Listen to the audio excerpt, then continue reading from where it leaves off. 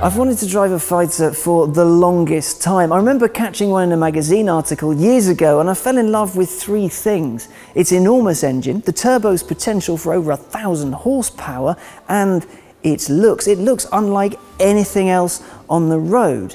Old school, but also pleasingly futuristic, all rolled into one pretty exciting package.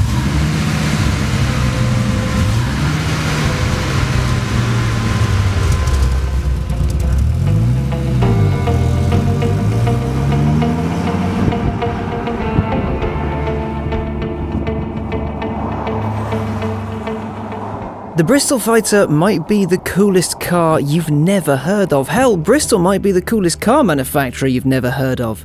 What started as a company making trams and planes ended up making some of the most exclusive cars on the planet. Bristol used to make, amongst other things, aeroplanes, but as they discovered after World War I, if your primary business model requires there to be a war on to thrive, well, when the war stops, you're a little bit stuck. However, the company managed to survive.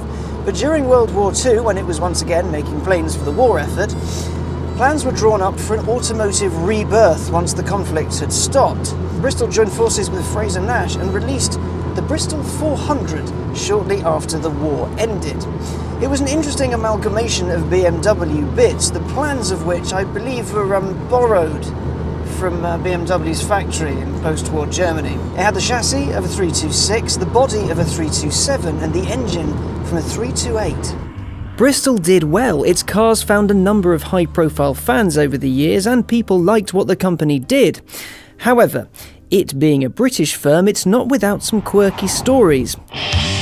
It's time to introduce you to the former owner of Bristol, Tony Crook, possibly the coolest auto exec again, you, you've never heard of. Man, Bristol's really secretive. Crook was a fascinating man. He was in the RAF during World War II, and then after the war ended, he became a motor racer, a bloody good one at that. He was known to tussle with Stirling Moss. He became a Bristol dealer and in the 70s turned his love of Bristol cars not only from selling them but to owning the entire company. And then he became the kind of auto exec that you and I really love to hope exists. He once paid a hobo to sit on the Rolls Royce stand during a motor show to put off any prospective clients. He also dressed as a sheikh and went over to the Frazer Nash stand and pretended to buy all of the products they had. He was fantastic. Crook was also the type to relive his past glories loudly and with self made sound effects in his office. An odd chap, if ever there was one. A choosy guy as well. He famously didn't like the motoring press. The only way into a Bristol was to buy one or become mates with someone who had. If you said something remotely negative about a Bristol, you'd get a letter from Crook himself. They were, according to one source, properly angry, slightly mad, but normally very funny. He was also picky about who he sold cars to.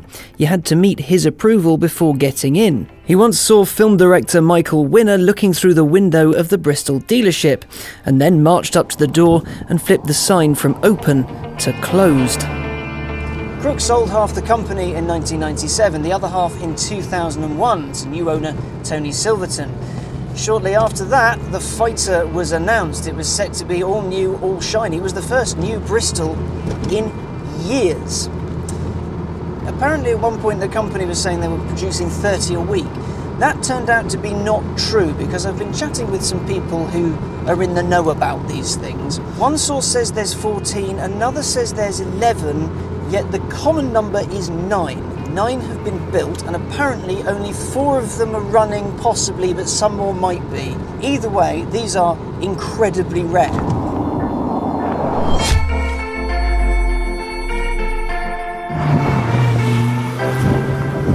Between 2002 and 2011, when fighter production was suspended, there were three versions of the car. The Fighter, this one, a 525 brake horsepower base car, the Fighter S, which came with 660 brake horsepower, and the aforementioned 1012 brake horsepower Fighter T. The Fighter gets its name from the company's past. The original Bristol Fighter was a plane. I was expecting this to be a cumbersome son of a bitch to drive. I really was because it looks quite big and it looks quite heavy.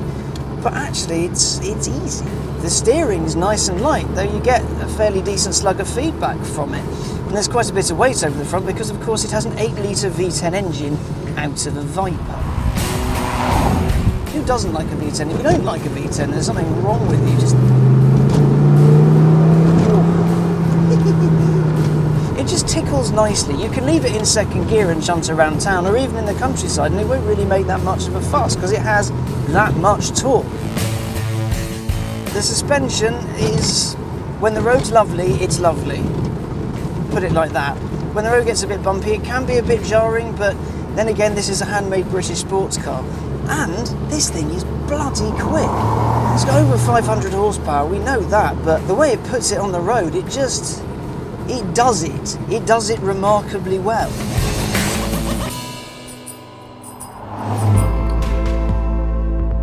The doors are awesome, they are gull-wing doors. Now, unlike say a DeLorean, another car with gull-wing doors, there's not just a little strap hanging down that you have to reach for. This has a little grab handle and inertia reel belt on it, and it's wicked.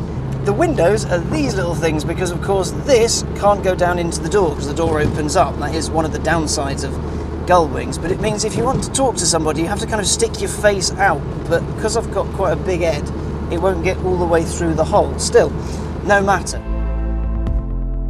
Once you're in here, admittedly it does start to show that it was a car developed in the early noughties.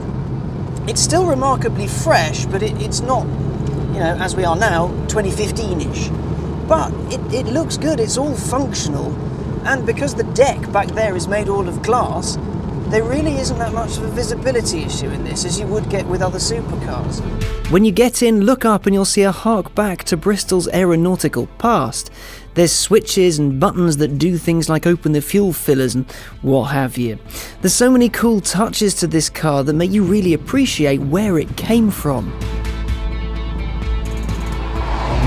I can't think of anything to compare the Fighter to. Today you'd be looking at the likes of the Merc SL or the Aston DB9 and what have you. But the Fighter has a more, how do I put this delicately, hand-built feel to it. This is a hand-built British GT, so I'll leave it to your imagination as to whether anything came off in my hand while I was driving. And I will tell you that no two are entirely alike.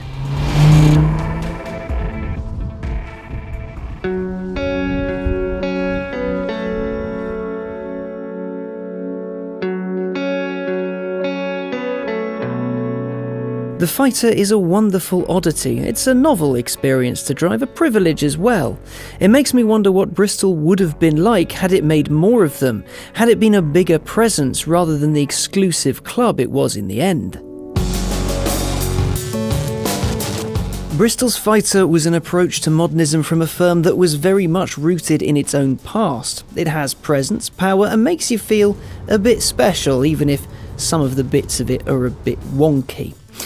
It's a crying shame more people don't get to enjoy these. However, if they did, would it have been so special? I don't think so.